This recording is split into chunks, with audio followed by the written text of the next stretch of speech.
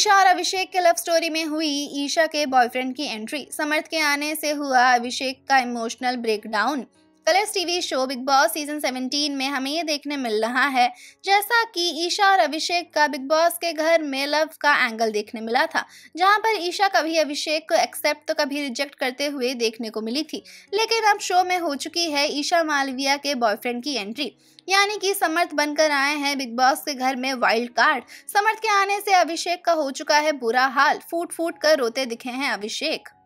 Big boss ने एक special setup बनाकर अभिषेक और ईशा को बुलाया था, जहाँ पर उन्होंने समर्थ की एंट्री को अनाउंस किया है। और अब अभिषेक और ईशा के लव स्टोरी में आने वाले हैं ईशा के करंट बॉयफ्रेंड समर्थ। समर्थ की एंट्री से है ईशा काफ़ी ज़्यादा शॉक्ड और तो और अभिषेक का भी हो चुका है बुरा हाल।